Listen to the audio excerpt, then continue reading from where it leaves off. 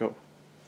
My name is Piotr Dutkiewicz from Carleton University, Department of Political Science, and I'm also involved in the Canada-Europe uh, uh, Transatlantic Project uh, of the Institute of uh, European Studies.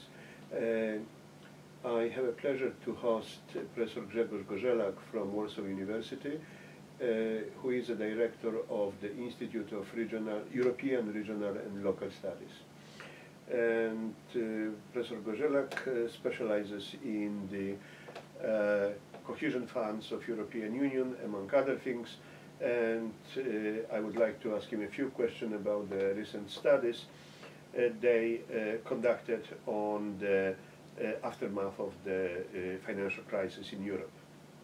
Professor Gorzelak, what was the depth of the financial crisis of 2008-2010 in Central and Eastern it was very differentiated because there were countries like the Baltic republics which uh, decreased their GDP by 20% and also witnessed a rise of unemployment up to 20%.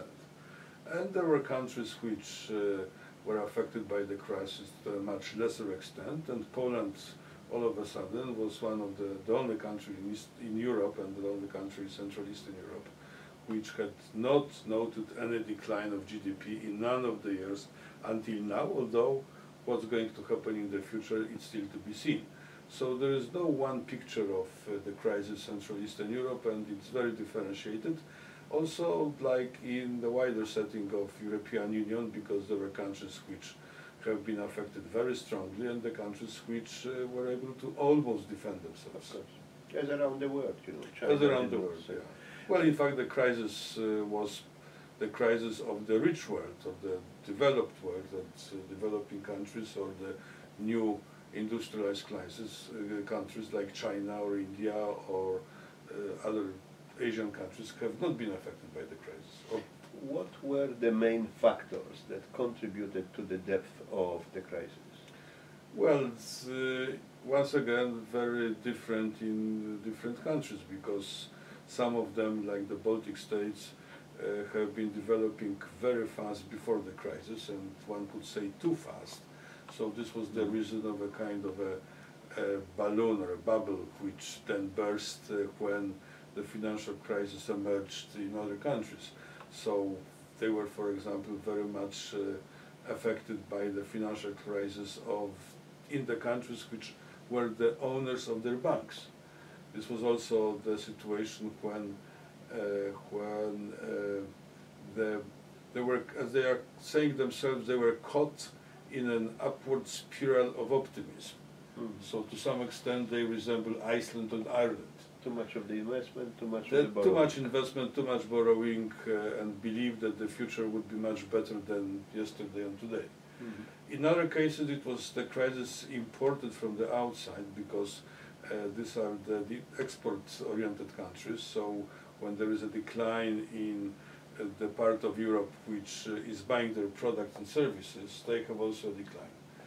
Uh, in other countries, for example, Slovakia, very much uh, oriented towards industrial exports to Western Europe, mm -hmm. was affected by the crisis. Slovenia to the same extent. There were some also genuine problems like in Hungary, which uh, lost financial stability even before the crisis, so the uh, field of maneuvering during the crisis was much narrower for Hungary than for other countries. So there is no unique pattern and uh, uh, when we were uh, analyzing the uh, crisis in Central Eastern Europe, we came to a conclusion that the diversification of the reactions to the crisis is exactly the same as the, diversification of Western European countries to the crisis. so once again, so there were Baltic republics like Ireland and like Iceland. Mm -hmm. uh, Hungary perhaps, well, with all, uh, uh like uh, Greece and so on. So that's, uh, the, the, wide array is, is not being cut along the East-West Europe, it's array more due to structural characteristics of particular countries on both sides, east and west. What, what are the main policy prescriptions from that picture? Very different once again. In some countries austerity measures were introduced, in some countries on the contrary more spending was introduced. So once again it depended on the policy or kind of uh, uh, uh, implementation of both strategies. So on one side austerity measures cutting social spending, on other side more spending for example for infrastructure. And in uh, several countries cohesion money was uh, a factor which elevated uh, the situation, the, the, the, problem, because uh, this was an extra demand. So financial uh, uh, difficulties were to some extent cautioned by cohesion money coming to the So there's no one model of getting No one out model. of the crisis? No one model of uh, the reasons of the crisis, the causes of the crisis, no one model of uh, going through the crisis, and no one model of policies.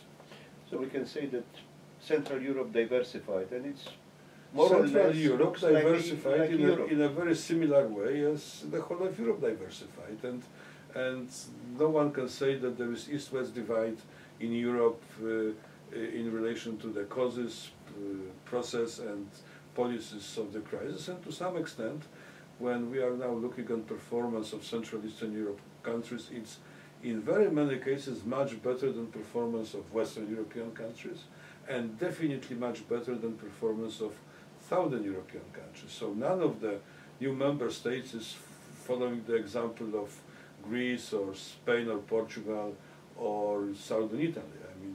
Uh, stability, financial stability is much better, growth is higher, uh, exports are once again growing, and uh, unemployment is below or approximately around the average of the European Union. In none of the countries, countries there is such a high unemployment as in Greece and Spain. So they seem to be more resistant and they seem to be perhaps uh, uh, more prone to uh, accepting sacrifices of the crisis, which were uh, were experienced by many uh, nations in Central and Eastern Europe, but perhaps we are a bit more humble to to get accustomed to them and work uh, for good- the future. That's a good conclusion of our conversation. Thank you very much. Thank you very much. Thank you.